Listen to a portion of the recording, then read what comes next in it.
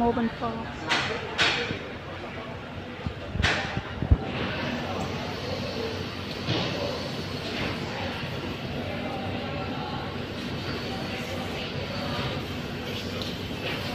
keo à, cái này nó là polymer tự hóa của Quốc và tại trên thế giới duy nhất chỉ có cái thằng polymer của Hàn Quốc này nó mới làm được cái đó là nó chất chống thành một thường cái thằng keo á là keo á hồi trước mà trên thị trường mà hiện tại sử dụng mà bản thân Hồng Anh hồi xưa mà sử dụng keo á là đi một cái thời gian nhất là nó làm cái giảm nó xe cái hai nữa là đang một cái mâm luôn. Tức là khi mình mở ra cái mâm của mình cứng ngắt luôn thậm chí ra thở á, nó hôi và nó không giá luôn. Ra là bỏ ra là bỏ lỡ xe luôn. Nó bắt thay giờ kiểu nó quá nó không có đó là hồi trước là mình bị là cái thằng keo cho nên là bản thân của mình cũng là khuyên người khác đó là không nên sử dụng cái thằng keo này quá.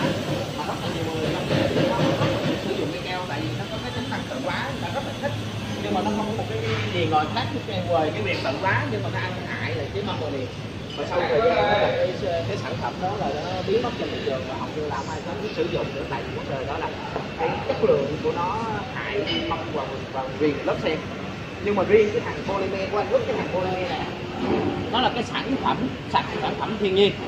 Nó một trăm trăm thiên nhiên luôn là nó không ăn hại đến vành mâm lớp sen cho nên là khi mà mình cảm nhận cái sản phẩm á thì mình có thể sờ vào cái tay mình thấy là nó mát.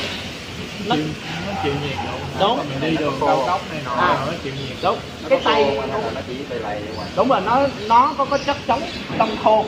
Khi mà nó chất chống đông khô á, là nó nằm ở trên cái thành vỏ như thế này bao quanh cái vỏ xe của mình luôn. Cho nên là khi mà mình đi đi đường á là cái chất chống đông khô nó nằm ở đây. Cho nên là khi mà một cái lỗ đinh mà nó đâm vô đây một phát thôi thì ngay lập tức là nó điền ngay cái lỗ đó và nó quá lên. Nó áp suất hơi nó tạo thành cái sợi polymer giống như là khi mà mình à, mình à, mình lấy một chút xíu như thế này nó nó sẽ sờ như thế này lúc trong cái à, quá trình sử dụng. Anh em mình có thể sờ. À, đây là cái chất mà nó giải nhiệt của cái vỏ bánh xe bên trong á, là nó có các sợi polymer giải nhiệt cho nên anh em mình thấy khi mình sờ vào cái sợi polymer mình thấy nó lạnh lạnh. Thì đây chính là cái sợi giải nhiệt. Thì nó sẽ giải nhiệt từ cái bánh xe giải nhiệt ra và đặc biệt trên thế giới là chỉ có cái thằng Anh Quốc này nó mới làm được cái điều đó là đặc biệt. Và trên thế giới chưa có cái sản phẩm nào nó có thể làm được cái điều đó. Tại vì hồi trước là có rất nhiều sản phẩm là nó ăn hại mâm và nhiều lớp sen riêng cái thằng này đó là nó cam kết với khách hàng và tất cả luôn đó là nó không ăn hại mâm gì. Tại vì năm ờ, 78 nó sản xuất ra nó chỉ dành cho xe quân và Anh quốc tức là nó dành cho trong chiến tranh thôi.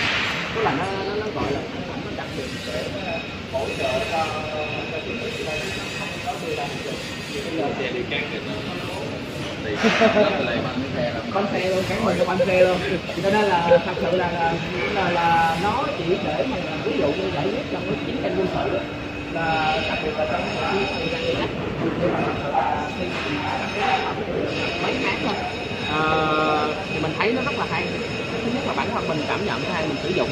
Và cái thứ ba nữa là khi mà mình cán đinh hoặc là những cái con quýt thì mình thấy là nó giải quyết rất là thích thời. Thậm chí là đưa đến à, à, những người mà họ khách hàng mà họ cán cái đinh quýt. Bình thường họ rút ra lên xì ngay bây giờ mình rút ra là nó đã quả rồi cho nên mình rất là rất là thuận lợi Ờ, nhưng mà nó tăng thọ của cái rồi cái này mình mình, mình bơm Nấu. như thế nào là là, là dung lấy dao gặt lỗ nữa anh còn nó Ờ, chứ anh ơi cái bảng giá. anh sẽ cho cái bể đinh cho mình cán luôn. À, cái này nè